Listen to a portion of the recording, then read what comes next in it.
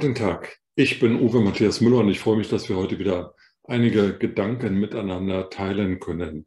Bundesfinanzminister Christian Lindner von der FDP hat ein Programm vorgelegt, mit dem Steuern abgesenkt werden sollen, sowohl für Unternehmen als auch für Private. Bei den Privaten geht es um die vom Bundesfinanzhof verworfene Doppelbesteuerung von Renten. Hier muss nachgebessert werden. Ein sehr kompliziertes Verfahren, und deswegen will ich hier auch nicht ähm, in, in, Gänze darauf eingehen. Daneben gibt es ähm, das Bestreben der Bundesregierung, einen Pflegebonus auszuzahlen. Es gibt ähm, die Idee, ein Energiegeld auszuzahlen. Es wird hier etwas gegeben, dort etwas gegeben. Ähm, und immer ist die Sprache der Politiker so, als ob man äh, Geld aus deren Taschen bekämen und man froh sein müsse, dass die Politiker von ihrem Reichtum etwas abgeben. Ob die Politiker reich sind oder nicht, ist eine individuelle Frage und ist jetzt auch nicht hier unser Thema. Ob sie genügend verdienen oder zu viel verdienen, zu wenig verdienen, ist auch nicht Thema unserer Diskussion, sondern die Frage ist, wo kommt denn das Geld her und was macht die Politik eigentlich? Die Politiker machen eigentlich nichts anderes, nicht mehr und nicht weniger, als unser Geld zu verteilen. Denn wir, die Bürger, sind die, die Steuern zahlen, die Abgaben zahlen.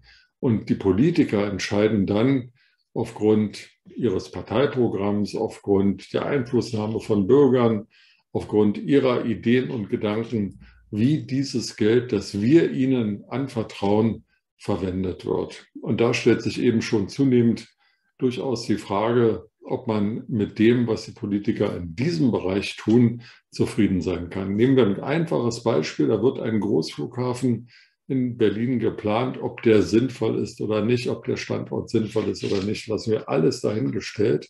Aber er soll zwei Milliarden Euro kosten.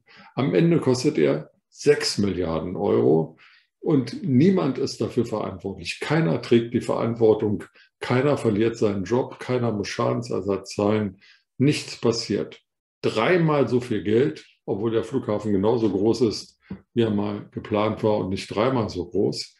Dreimal so viel Geld. Das gleiche gilt für die Elbphilharmonie in Hamburg, zehnmal teurer als projektiert.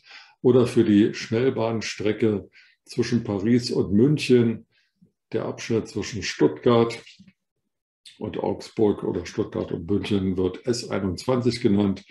Prominent ist das Vorhaben geworden durch den Neubau des Stuttgarter Hauptbahnhofs, aber da hängt viel mehr dran, nämlich eine Schnellbahnstrecke, die dort gebaut wird. Und siehe da, erstens, das Projekt wird sehr viel teurer als geplant, das, was Kritiker schon immer gesagt haben. Und man höre und staune, zwischen Ulm und Augsburg ist die Strecke noch nicht einmal projektiert. Wahrscheinlich das ist im Moment in der Diskussion, wird da gar nicht neu gebaut werden. Das heißt, nichts mit Schnellfahrstrecke. Ähm, in Ulm stoppen die Züge ab und ab Augsburg nehmen sie dann wieder Fahrt auf. Dazwischen sind die Bauern dagegen, dass da gebaut wird. Es sind Anrainer dagegen. Keiner will einen Quadratmeter seines Landes abgeben.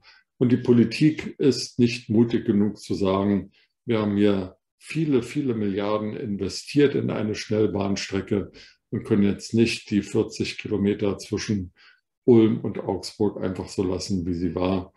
Das macht überhaupt keinen Sinn. Diese Kette ließe sich fortsetzen. Es geht um Energieversorgung, um Energieleitungen, die nicht gebaut werden, die zu teuer werden. Es geht um viele, viele andere Maßnahmen. Diese Art der Geldumverteilung kann man sich leisten in einem reichen Land. Deutschland ist reich, aber nicht in einem Land, in dem das Ende des Reichtums absehbar ist. Und hier rede ich nicht von außenpolitischen Krisen, die uns vielleicht noch sehr hart treffen werden, sondern ich rede davon, dass wir in einer demografisch sich ändernden Gesellschaft leben, dass hier viele Leute in den nächsten Jahren in den Ruhestand gehen, in Pension, in Rente, dann nicht mehr arbeiten werden, nicht mehr produktiv am Lebensalltag teilnehmen, sondern eben vom ersparten Leben und von den nachfolgenden Generationen Rente beziehen werden. Wir reden davon, dass diese nachfolgenden Generationen äh, nicht mehr so zahlreich sind. Das heißt, weniger müssen mehr aufbringen. Und deswegen sind einfach teure Sozialgeschenke auf die Dauer nicht finanzierbar. Es mag sein, dass künstliche Intelligenz, Robotik und Digitalisierung dort einen Ausgleich schaffen, aber wir wissen das heute nicht. Wir wissen nicht genau, ob das so greift, wie manche sich das erhoffen oder wann es greift. Und deswegen müsste eigentlich auf jeden Euro Acht gegeben werden, denn jeder Euro, der heute ausgegeben wird, kann morgen nicht ausgegeben werden. Und die nicht stattgefundenen, die verlorenen Reformjahre der Merkel-Regierungen seit 2005, die werden noch sehr teuer, denn es gab Zeiten, in denen es Deutschland sehr, sehr gut ging, in denen man Reformen hätte machen können, die sozial abgefedert sind. Da hätte man auch viel Zeit gehabt, bis die Reformen greifen. Jetzt wird der Zeitdruck immer größer und damit auch die Handlungsnotwendigkeit immer drängender. Gleichzeitig haben wir die große Aufgabe des Klimaschutzes vor uns. Ähm, auch das kostet sehr, sehr viel Geld. Gleichzeitig müssen die Unternehmen sich auf neue Märkte und neue Techniken einstellen. Nicht nur die Automobilindustrie auf das Auslaufen des Verbrennermotors und der, den Umstieg auf äh, E-Motorik oder wasserstoffbetriebene Fahrzeuge. Alle Industriezweige, alle Wirtschaftszweige müssen sich umstellen ein, ein riesiger Transformationsprozess.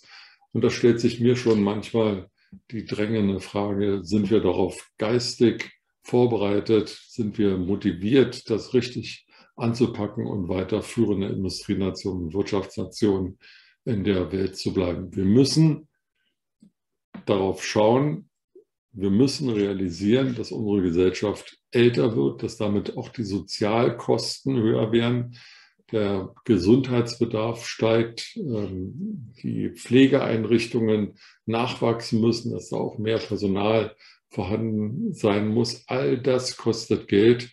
Und deswegen noch einmal ist es so ungeheuer wichtig, das Geld zusammenzuhalten und wenn es dann ausgegeben wird, zielgerichtet in die Zukunft auszugeben und nicht darauf äh, möglicherweise bei Kommunal- oder Landtagswahlen Stimmen zu gewinnen.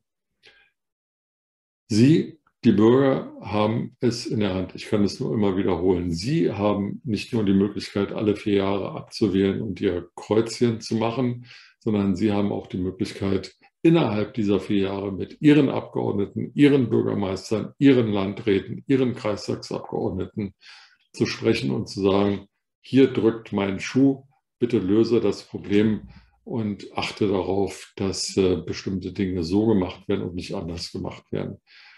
Nur wenn Sie das tun, wenn Sie stetig Einfluss nehmen auf die, die Sie gewählt haben, beziehungsweise die sich Hoffnung machen, von Ihnen gewählt zu werden, nur dann sind Sie sozusagen Teil des politischen und gesellschaftlichen Systems und haben viel mehr Einflussmöglichkeiten, als nur alle vier Jahre das Kreuzchen in der Wahlkabine zu machen. Demografischer Wandel ist eine Kette von Herausforderungen. Demografie birgt aber auch viele Chancen und ich halte es für wichtig, vor allem die Chancen zu ergreifen. Dafür muss man sie erkennen und dann aktiv angehen. Mehr Demografie wagen. Das wünsche ich uns, uns allen. Mit diesen Gedanken in den Tag wünsche ich Ihnen einen schönen Sonntag. Genießen Sie ihn.